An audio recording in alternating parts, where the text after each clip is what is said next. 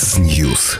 Добрый день, уважаемые радиослушатели. Сегодня у нас в программе «Подоплека» э, присяжный адвокат Янис Зелманис и тема «Есть ли жизнь после кризиса?» и если да, то какая? Э, программы выхода из кризиса, программы развития экономики сейчас уже активно обсуждаются. И, как всегда, э, при восприятии этих обсуждений возникает такое сомнение – где тут действие, а где имитация бурной деятельности. К сожалению, вот э, не всегда э, действия и программы правительства, которые оно предлагает, обсуждает и так далее, находят поддержку у общества и понимание, потому что кажется, что э, делает оно не совсем то, что общество ждет. Ну, в частности, ресторанный туристический бизнес – долго ждал, что ему протянут руку помощи, но ему протянули как-то так, что э, ресторанный бизнес э, хочет затеять э, бунт кастрюль. Э, итак, сегодня мы обсуждаем э, жизнь Латвии и других стран после кризиса. И э, то, что мы видим сегодня э, в информационном пространстве, показывает, что э, все страны в той или иной степени свои дорожки тарят уже из этого кризиса. В некоторых э, случаях это происходит э, в формате капиталистического соревнования. То есть Италия заявила, что открывает границы, Испания, которая говорила, что не откроет границ до сентября, тут же подхватила и сказала, что она тоже откроет границы. Ну, то есть уже началось, так сказать, соревнование за туристов и Э, за гостей, и хотя ситуация, может быть, в тех странах, которые соревнуются за гостей, гораздо более была жесткая, нежели, например, в Латвии, которая за гостей пока не соревнуется. Э, итак, э, Янис, вы примерно неделю-две две назад дали интервью журналу «Денис Бизнес», и в нем высказали свое видение ситуации и тех инструментов, которые можно было бы использовать для того, чтобы экономику Латвии э, оживить. Вот э, какие это инструменты с вашей точки зрения? Лена, спасибо за вопрос. Э, добрый день, радиослушатели. Что мне кажется важным в том интервью я отмечал роль государства да, в экономике. У нас не очень принято еще с советских времен а, задумываться, какова на самом деле роль государства и, и насколько стоит эту роль государства усилить или а, увеличить. Но... но считалось, что всевидящее око рынка все выправит и все, ну, да, все отрегулируется 30, само. Да, 30 лет у нас царила догма, а, что вот вами озвучено, но результаты они таковы, каковы они есть. Да, и я думаю, они были бы лучше, если бы чуть раньше мы бы оценили эту роль и государство бы все-таки а, занялось чем, чем оно должно а, заниматься в капиталистическом обществе, это назначать приоритеты и поддерживать свой экспортный бизнес. А, а, что сейчас делать в Латвии? Я думаю, у нас есть несколько а, параллельных дорог, а, на мой взгляд, да, то есть э, это чисто мое индивидуальное мнение. А, все-таки я никто, да, в точке зрения а, политической элиты или, или не участник а, правительства, но мне кажется очевидным, да, что а, в первую очередь нужно создавать рабочие места или, скажем, видимость рабочих мест за счет просто пособий и субсидий. Это раз, с этим у нас не так идеально обстоит дела. Второе, что еще более интересно, это все, все же говорят, да, ну, про, очень мало практических деталей, да, говорят об усилении экспорта. И э, говорят об институции Альтум, а, вот, э, которая предназначена а, гарантировать а, разного рода кредитные взаимоотношения.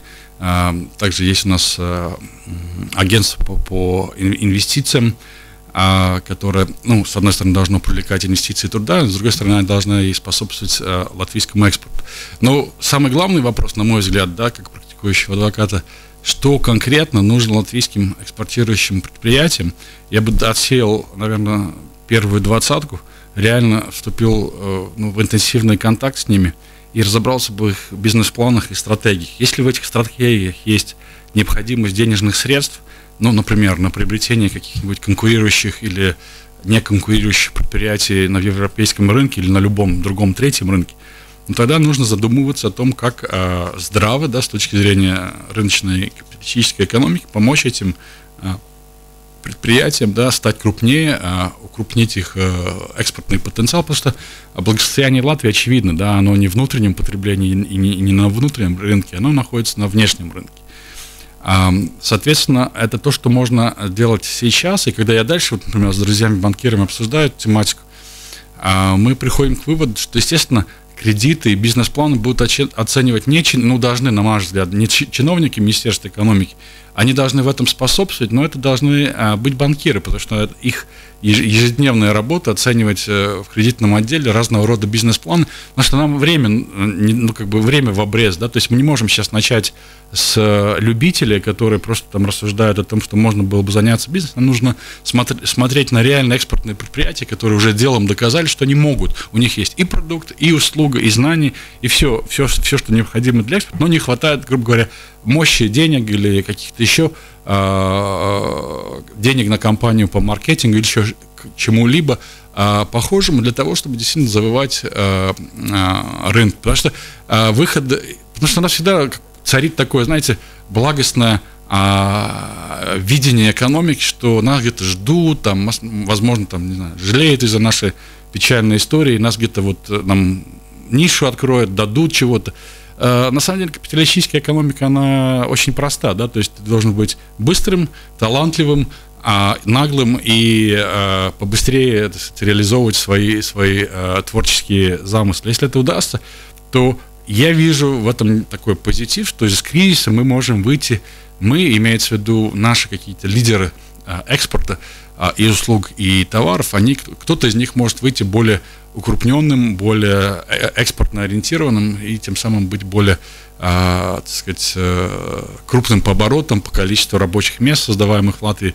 И в конце концов государство должно заниматься долгосрочным стимулированием экономики, это вложением в науку, а, в инфраструктуру, а, в транспорт, в порты и все остальное, да, с чем связана как бы латвийская география. У нас есть некие некие, некие, наверное, географические предпосылки. Ну, в конце концов, э, никто же не отменял правил, что внешняя политика должна соответствовать внутренней. Это тоже как бы к вопросу о наших восточных соседях, да, то есть, э, ну, как-то это тоже надо урегулировать, э, что касается Янис, Белоруссии но, и России. Янис, вот то, что вы сейчас говорите, извините, что я вас перебила, но то, что вы сейчас говорите, это э, напоминает какую-то э, малонаучную фантастику, потому что вы говорите о том, что государство должно поддерживать экспорт.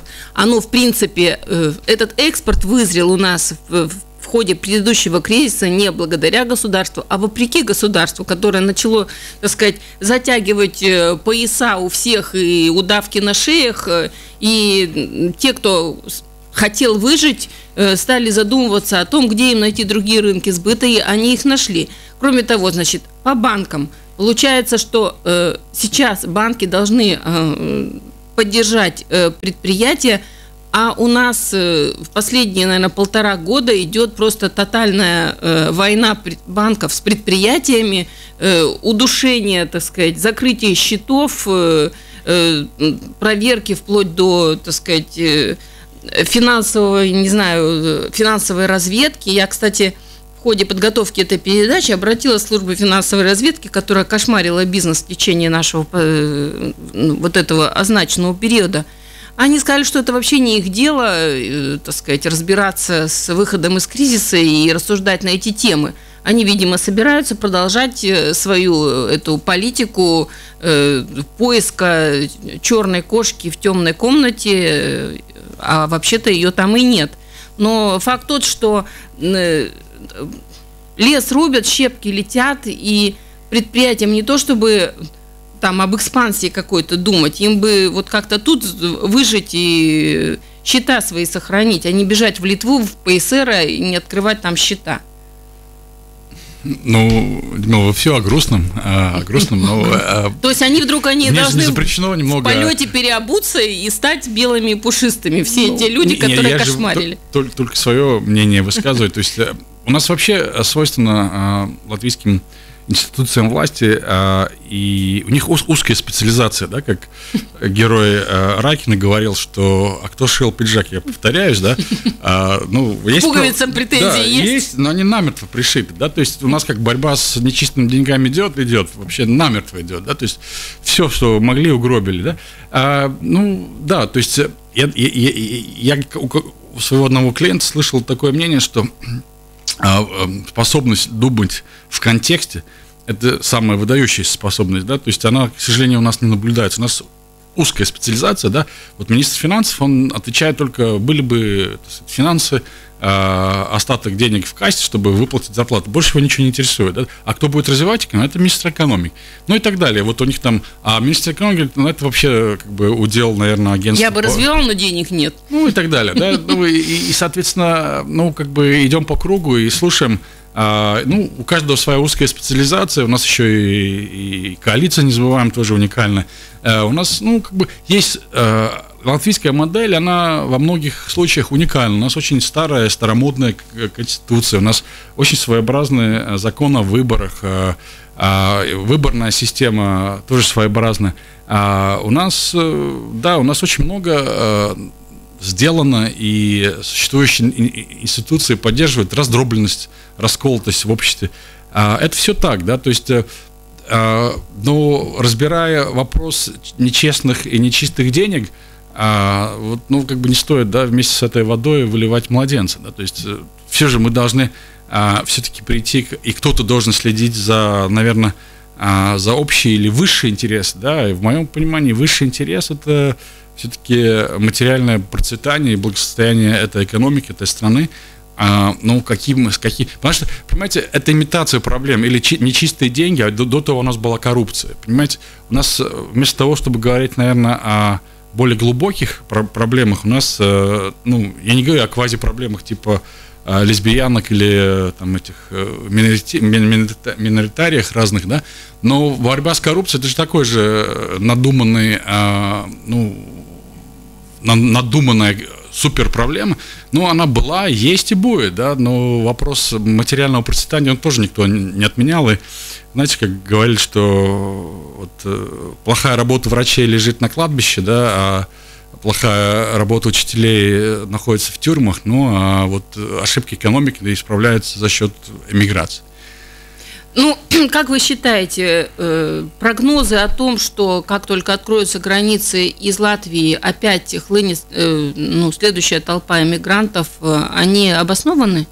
Я думаю, что да. Я думаю, что вполне обоснован. Есть очевидное затруднение в том, что это зависит от скорости развития экономики других стран. Да? Если немецкая или английская, а то и, не знаю, ирландская экономика, голландская – а, реально пойдет, или то, что у нас здесь еще ближе, норвежская, шведская, а, пойдет реальными шагами на развитие, естественно, будет не хватать а, рабочего ресурса. И чтобы оно, как бы рецепт известен, оно будет всасывать более-менее образованный рабочий ресурс из ближайших стран Евросоюза, а менее квалифицированного за счет, так сказать, иммиграции из стран Северной Америки, и Северной Африки и Ближнего Востока. А, поэтому здесь бы тоже был, наверное, а, интерес а, латвийской экономики даже развиться быстрее Эстонии и Литвы и убедиться, что не латвийский трудовой ресурс едет в Эстонию и в Литву, а наоборот. Это очень, очень показательный и объективный фактор, который очень четко говорит, ну, мы, мы являемся успехом или не, не являемся.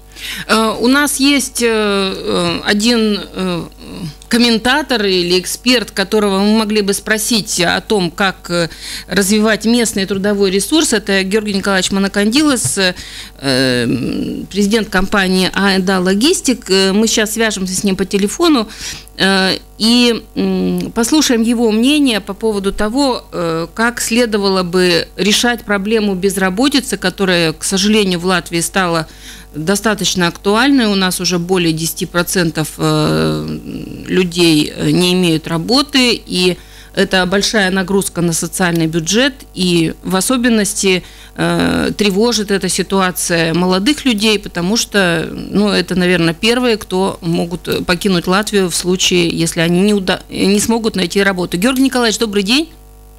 Здравствуйте, Людмила Борисовна. Э, слушаю вас. А, вот мы сейчас обсуждаем э, выход из кризиса и то, что э, перед нами стоит риск второй волны, ну не COVID-19, а второй волны иммиграции из Латвии ввиду того, что нет работы у людей. Вот как бы вам виделась помощь правительства в решении этой проблемы, чтобы люди не уехали?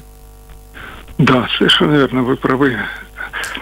А, молодежь, и не только молодежь, конечно же, будет уезжать, потому что э, наверняка э, сократится количество рабочих мест. Вот ваш уже сократилось, гость, да. Угу. Уже сократилось. Ну да, все сокращается. Упомянул сферу транспорта. Но транспорт это же не только железнодорожные перевозки, морские порты и так далее автотранспортный э, отрасль, автотранспортная отрасль, э, которая за последние годы очень сильно пострадала по различным причинам, сегодня находится в полном кризисе, в кризисе ставки на перевозки падают каждый день. Э, понятно, что сокращ... работы нету, значит, люди будут уходить или их сокращают а потом будут нанимать э, различных э, гастарбайтеров, ну, гастарбайтеров для того, чтобы водить да. машины. Угу. Да, да, угу. да. Если, если еще у нас останутся автотранспортные компании, угу. которых в свое время было ну, большой, большой был э, э, парк автомобилей. Вот здесь бы необходимо, по моему мнению, э, было бы направить какие-то средства на помощь этим компаниям, на поддержку автотранспортным компаниям. И главное, э, молодежь привлечь к... Э, молодежь не хочет ехать, э, идти работать на транспорте. Вот найти возможность привлечь их как-то стипендиями какими-то да, или стажировкой. Обучение, обучение это угу. достаточно длительное обучение, чтобы сесть за руль грузового Тягача, да. Угу. Тягача, да. И, и это как раз э, та необходимость, на мой взгляд, когда э, можно было бы оставить э, э, молодежь здесь, не, не заставлять их уезжать, не искать угу. в каких-то других странах э, работу, а здесь э, поднять именно эту отрасль, которая в любом случае мы остаемся транзитным мостом между то есть э, ваше предложение в том, чтобы целенаправленно да. поддержать транспортную отрасль и э, да. те специальности, которые в этой транспортной отрасли нужны да, и необходимы. Да. Шоферов, угу. старые шофера все увольняются, уже практически никого не осталось. Угу. А, даже вот нашей компании мы нужны были продать и весь транспорт, пару машин осталось, и шоферов нету, некому работать. Понятно. А, Спасибо, вот, Георгий да. Николаевич, за ваш комментарий. Э, сейчас мы сделаем небольшой перерыв. А, нет, говорит звукорежиссер Евгений Копень, что не надо нам перерыва. Поэтому мы продолжаем нашу дискуссию. Э, да, то есть э, э, поддержка э, каких-то программ переквалификации, она уже озвучена. Э, премьер-министр сказал, что надо переучиваться всем в айтишников. Как вам кажется, Янис? Э, ну, в айтишники ц... надо? Я в айтишники пошел, пусть меня научат. В целом, наверное, здраво, да, в целом, наверное, направление разумное. А, я просто не уверен, что а, ну, то есть IT является ли универсальным ключом для всех, да, и я думаю, что нет. Естественно, что а, если у какого-то конкретного предприятия не идет транспортный бизнес, возможно, есть возможность переквалифицироваться, да, но а, в целом я согласен, что роль государства в том, чтобы, а, во-первых, понимать а, стратегический приоритет – у нас до сих пор у нас нет понимания, что для латвийской экономики является стратегическим приоритетом. Мы пытаемся сейчас имитировать, наверное, а, косвенно, потому что отсутствуют другие идеи, эстонский пример. То есть mm. мы их копируем, эстонцы, наверное, в середине 90-х объявили, что это их есть э, настоящий экономический приоритет. Приоритет, они хотят стать IT-государством. А, ну, чем они и стали, да, в общем-то. А, ну, из-за отсутствия других идей, мы сейчас говорим, мы хотим быть клоном а, Эстонии, как по налоговой реформе, так и, скорее всего, а, клоном по а, экономической стратегии. Ну, я бы, наверное, в этой дискуссии поучаствовал. Ну, я не тогда... отрицаю, что IT а, популярное направление, а, но всегда, знаете, быть сказать, номером два, а то и номером три не очень полезно, да, или это не очень выгодно. А, и там, как всегда, если ты не, не первый, ты всегда тебе достается как э, так, ну, бронзовый призер, он всегда получает э, намного меньше денежного фонда, чем золотой призер. Да? То есть, ну, а если другого нет, то можно и войти. Да? То есть, но это очень-очень, я думаю, принципиальная дискуссия, а почему не авиа? Да? А почему только IT, да? Ну, на авиа, кстати, правительство 280 миллионов евро, это ну, как беспрецедентная сумма. Да, причем без, без, да, да. без особой дискуссии, там есть вопрос, да, ну, целесообразность этой суммы, но в целом я, как, ну, опять, как гражданин и просто человек, следящий за а, процессами в обществе, я считаю, что вполне разумно, да, потому что я считаю, что а, нашего единственного авиационного лидера в Прибалтике нужно сохранять. Да, в чем если так, не так много а, отраслей, где Латвия является лидером а, в Прибалтике. Ну вот одна из отраслей, которая легко приходит в голову, это авиация. Естественно, за нее надо бороться, и как 10 лет тому назад спасали Air Baltic и авиацию, даже, ну, то есть не только суть в Air Baltic, да, сколько во всем секторе авиации.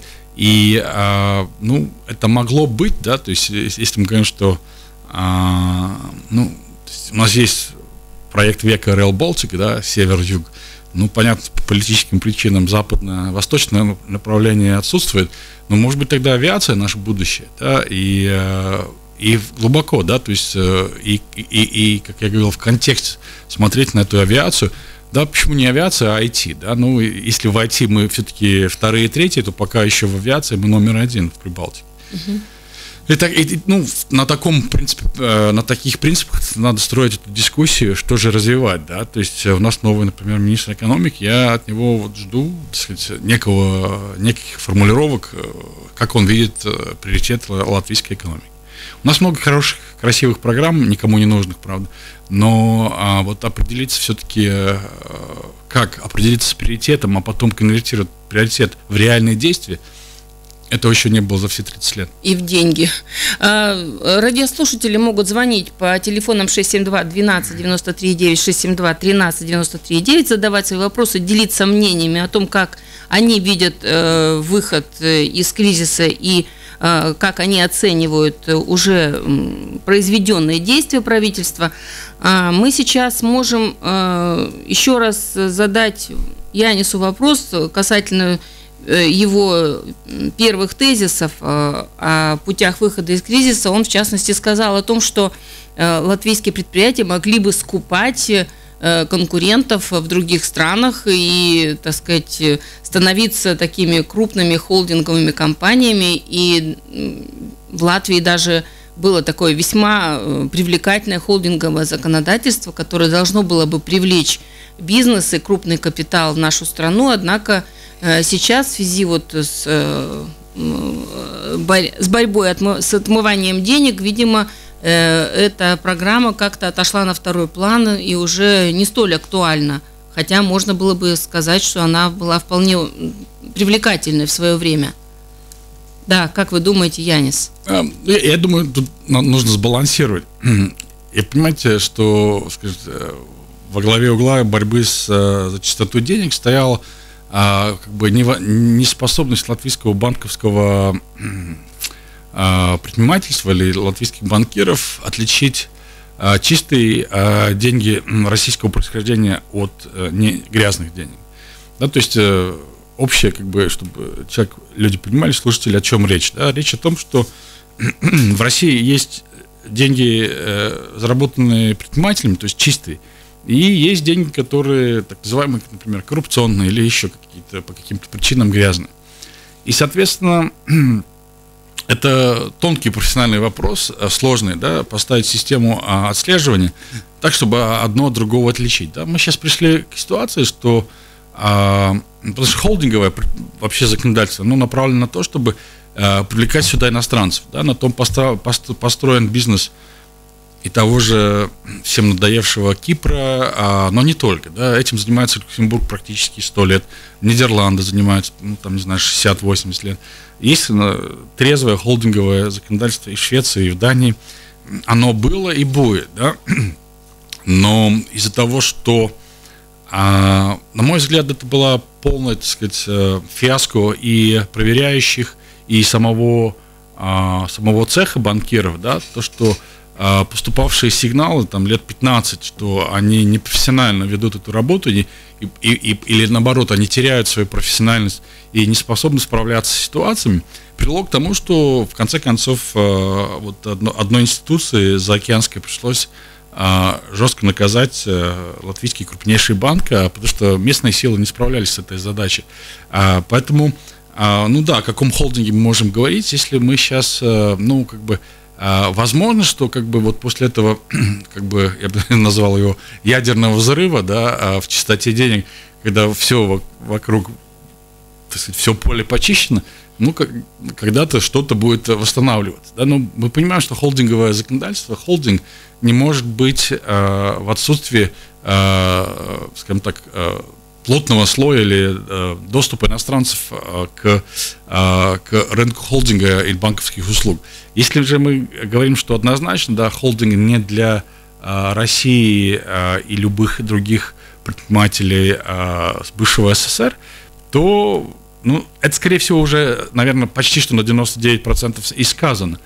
А, поэтому остается как бы э, сказать, искать свою нишу, ловить клиентов на более сложном, более зрелом рынке, э, ну, так называемого Евросоюза или западном рынке.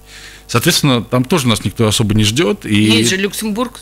Да, ну нам до Люксембурга так примерно так же, как э, э, до Луны, да, то есть но в этом тоже есть некая роль государства, чтобы у нас были компетенции, знания, а, образование, традиции, суды, прокуратура, полиция, все, что есть в Люксембурге, да, чего нам не хватает. Да? То есть обычно иностранцы же... Нам всегда казалось, что вот мы примем один закон, и все к нам потянутся. Но у нас очень много таких э, болящих э, моментов или болячек, то, то, то, что касается работы судов, особенно я сталкиваюсь с тем, что касается работы полиции, это просто ужас.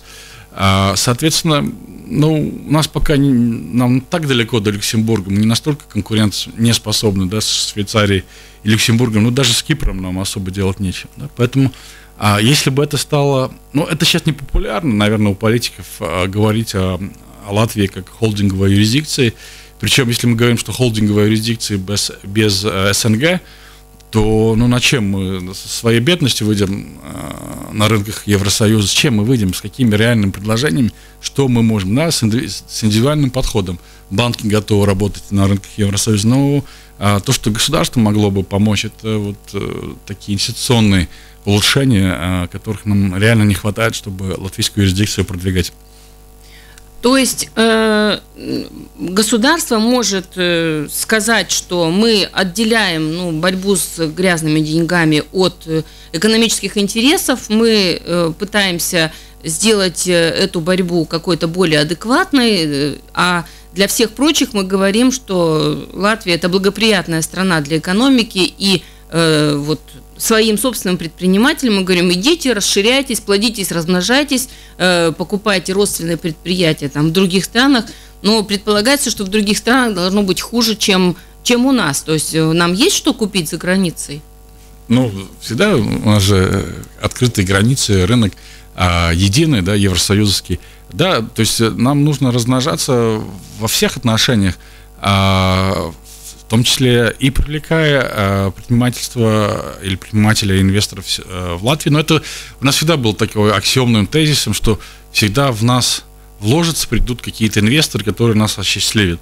Но, с другой стороны, мы творцы своего собственного счастья, да, и, ну, и нужно как бы как раз, например, у наших северных соседей учиться напористости и, э, вот желанию выходить на другие рынки. Я думаю, что тезис должен быть, что предпринимательство не есть грязные деньги, да, то есть предпринимательство, оно, ну, почти что на 80-90% э, это абсолютно э, почетное э, и чистое э, сказать, занятие. И не надо путать предпринимательство с преступностью. Да? То есть э, предприниматель не, не, не знак равенства э, с понятием преступник да, и отмыватель денег. А, поэтому, мне кажется, как говорил классик, да у нас много перегибов на местах, да, и а, то, что вот запрещать, э, не пущать, это всегда легче исполнимо, чем созидать и, и сотворить, да, то есть э, это намного сложнее и, и, и интеллектуально более сложный вызов. Янис, вы сказали о, об институции Altum, и это было одно из первых брендов, которые были названы в начале пандемии, о том, что через институцию Altum будут предоставляться какие-то программы помощи предпринимателям и так далее. То есть вы немножечко э, трактуете эту э, помощь расширительно, то есть не просто там на поддержание штанов, на оборотные средства подкинуть денег, а э, дать именно инвестиционный ресурс, так я понимаю? через Альтум для э, вот той сильной двадцатки, которую вы видите как исполнители будущей экспансии. Ну да, если э, так вот э, с таким красным примером разразиться, да, то есть понимаете, что ну, кто-то озвучил, что у нас доступно порядка 4 миллиардов. На, ну, есть первое, очень очевидное и не очень умное, э, на мой взгляд, э, решение. Это всем неполным двум миллионам жителей Латвии, ну, можно там для разнообразия отсечь, отсечь младенцев и стариков, и каждому, грубо говоря, перечислили на счет 200 тысяч. Ну, в принципе, я думаю, год-два будет просто э, завал экономической активности, особенно потребления. А вопрос э, первый, который нужно задать, 4 миллиарда, это э, субсидия – невозвратно, или это все-таки кредит? Если мы говорим, что это кредит а, долгосрочный, да, то нужно биться за то, чтобы он был более долгосрочным, чем краткосрочным. Да? То есть если это кредит не в 5, а в 10, а возможно в 20 лет, а, и 4 миллиарда для Латвии это половина примерно нашего, госбюджета. А, представляете, такого вызова в латвийской экономике никогда не было, что 4 миллиарда нужно толково вложить в экономику. Дальше вы задаете себе следующий вопрос. Если не хотите всем жителям Латвии отправить по 200 тысяч, то кому вы хотите дать? Кому вы хотите дать крупные, ну, на, опять по латвийским меркам, сногсшибательно крупные деньги, да, э, которые начинаются там, от 10, 20, 50, а может быть 100 миллионов. Да, кроме Air некому давать 300 миллионов, э, ну или, или почти некому. Да, это очень, очень, очень, и это очень ответственный вопрос. Э, вы должны понять, что э, у Альтома не хватает сейчас человеческих ресурсов, э, у Министерства экономики не хватает. Ну, то есть я-то, ну, как бы я по работе с этим сталкиваюсь. Представляете, что это значит оформить один, а, а, собственно говоря, один а, выданный кредит на 300 миллионов, сколько туда нужно а, работы вложить, какую там нужно компетенцию. У, у нас таких а, ресурсов очень мало. Соответственно, у Альтума их тоже не хватает. А где они есть, они, единственное, где я вижу отрасль, это коммерческие банки как, э, собственно, с латвийским капиталом, так и с иностранным. Э, то есть нужно здесь какое-то партнерство между э, источником денег, волей государства, компетенцией и, в конце концов, самого предпринимательства. Что самое печальное, мне кажется, что у нас самый большой вызов, у нас нет агрессивных бизнес-планов у тех предпринимателей. Да, то есть я пока сталкиваюсь с единицами – ну, возможно, это просто мой ограниченный круг общения, да, но этих единиц должны быть десятки. А, и причем а, десятки а, на проекты ну, супер масштаба. Да, то есть супер масштабов, потому что здесь не идет речь о, о полмиллиона или полтора миллиона. Да, здесь идет возможность проконкретизоваться на долгую, на очень масштабные проекты. Ну, по-моему, с, с, с масштабом у нас немного проблем. Есть сложности. Есть у нас звонок. Давайте послушаем. Добрый день, говорите. Мы вас слушаем. А, добрый день. Э, слушаю с удовольствием вашу передачу. Э, Люсенька, и действительно очень здорово все вы говорите. Я единственное хотел сказать маленькую ремарку, э, как, какого уровня. Это то, что на, самом на самом деле мы не будем успешны по одной простой причине. Это потому, что в нашем государстве мы сожалению, к огромному сожалению, э, не доверяем государству. У меня бизнес и здесь, и в Эстонии. В Эстонии совершенно другая атмосфера, бизнес-атмосфера, ну там даже нельзя сравнивать. И все происходит э, положительно именно потому, что мы там доверяем государству. Понятно, спасибо большое. Э, кстати, э, у нас есть еще один эксперт, которого мы могли бы спросить о том, как э, соотносится ситуация в Латвии с другими странами Прибалтики. Это Ольга Петерина. Она является руководителем компании, которая производит, производитель, экспортер. Вот сейчас мы попросим нашего звукорежиссера набрать ее по телефону. Да, к сожалению, вот попытка копировать э, э, ну, чужой опыт как-то у нас все время не складывается. Сейчас Ольга уже с нами на связи. Ольга, добрый день. Добрый. А, мы вот сейчас затронули тему сравнения э, Латвии с Эстонией. Э, слушатель позвонил и рассказал, что есть э, большая разница в том, как Эстония относится к предпринимателям и предпринимательству в этих сложных условиях. У вас есть бизнес в Литве. Вот можете ли вы сравнить да. отношение Латвии и Литвы к вашему бизнесу и помощь государства, которую вы получили? Ну, скажем так, если принципиально сравнивать, то можно сказать, что в Латвии помощь оказывается по запросу да, самого предпринимателя. Там дадут или не дадут, это уже там решение отдельно потом принимается в непонятных ситуациях с какими-то изменениями постоянными.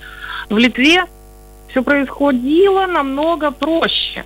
А, Литовское министерство финансов и экономики само сразу определило список, поскольку все в электронном регистре, все в цифровых этих. Ну, мы же знаем, что у нас и вид, и все же. Ну, конечно, конечно. База данных огромная существует, да. Да, угу. да, да. Так вот, ну, например, Министерство финансов и экономики сразу в начале периода пандемии, когда все это началось, само прислало тем фирмам, э, кто был, так сказать, удостоен да, каких-то, какого-то внимания или помощи со стороны государства, с указанием того, что, например, вот как в, мою, в моем случае было, ваша фирма имеет право на 90% компенсацию расходов э, в данный период. Все. Прям всех расходов, и не только зарплаты? Просто было написано всех расходов. Угу, да. Вот. Э, и в дальнейшем нам надо было просто ежемесячно отправлять определенного вида форму. Не надо было указывать никаких сумм, ничего поскольку все данные и так автоматически попадают во все регистры. Угу. И, соответственно, мы заполнили указанные формы и буквально через три дня получали определенные суммы денег. Понятно. Все. Вы не увольняли там сотрудников, э, у вас предприятие Нет. продолжало работать? Да, но продолжала угу. работать, и мы даже, хотя, в принципе, сказали, что можно делать сразу отсрочку платежей, налогов и всего остального, угу. но нам не было смысла это делать, потому что слово отсрочка не подразумевает отмена. Ну да. Накап... Накапливать накап... долги это опасное было, дело. Да, не было смысла. И могу, если это интересно, например, по рассказать еще о Мальте. Но тоже маленькое же государство, не огромное, да, угу. скажем так. И там, например, в этот период Государство э, э, закрыло весь бизнес, э, какой можно было, и сообщила всем о том, что у них никакой отсрочки там платежей, там налогов, ничего не будет. Оно просто отменило все налоги у фирм, которых оно сказало закрыть бизнес до сентября месяца. Ого. И написали, раз государство виновато в том, что бизнес закрывается, но мы да, издали такой указ о сокращении, о прекращении работы, то государство не будет претендовать ни на какие выплаты за период остановки бизнеса. Все. Ну, а людям зарплату как же? Ну, людям зарплату это там они сами. Дело в том, что государство еще там всем по 500 евро каждый месяц платило. Угу, понятно. Список, список граждан имеется, да? Кто работает? Все посчитаны, да. Угу все посчитаны, поэтому непонятно, когда нужно потом еще что-то подпрашивать. Ольга, э, вопрос вот э, по поводу э, восстановления экономики. Какой ваш прогноз? Вот ваше предприятие конкретно сможет, э, допустим, в этом году сохранить объем продаж или, может быть, увеличить? Может быть, вот Янис Зелманис, наш гость сегодня, говорит, что, может быть, это время для экспансии, покупки каких-то слабых предприятий в других странах. И можно было бы такой сценарий реализовать. Ну, дело в том, что у кто нацелен на, ну, так скажем, на приобретение чужого бизнеса, да, он знает всех своих конкурентов, знает свои какие-то слабые места. э, знает, просто бизнес пустой, покупать смысла нет, да, покупает же какой бизнес, у которого есть интересный товарный знак, есть активы, да, что-то еще. Имя, Мы да. Угу. Когда слово бизнес говоришь, да, это же все подряд нельзя подразумевать, да, то есть то, что может представлять интерес. И, а когда не знаешь, что ты ничего, не, естественно, покупать не будешь. И опять же, в какой сфере работаешь. Если мы работаем, например, в сфере там, энергоэффективности или там, энергетики, то однозначно, что этот бизнес, он вообще практически никак не пострадал, и ну ничего не изменилось, да, появился uh-huh. просто отложенный спрос на определенную продукцию, которая сместилась там еще каким-то образом. Uh-huh. Тем более, например, наша продукция, она покупается обычно в сезон, когда котельные там, ну, немножко приостанавливается, начинается uh-huh. вот ремонтная кампания. То есть у нас Понятно. нет никаких особых проблем. Понятно. Все. Спасибо, Ольга, за ваш комментарий. Э, время нашей программы подходит к концу, и так, чтобы э, сделать какое-то резюме, мы можем сказать, что э, предприниматели, ну, имеют запрос к государству о том, чтобы оно наконец-то сформулировало свои приоритеты, осмысленно подошло к финансированию этих приоритетов – и э, громко объявила о том, что оно готово поддерживать национальные компании в расширении их экспортного потенциала, их активности.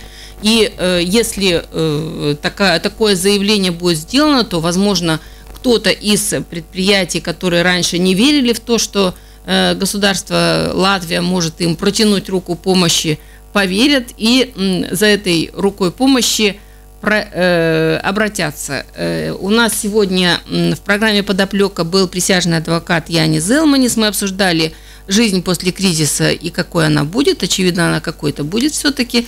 Ну, вот. будет. Да. И больше лидерства от нашего правительства. Да.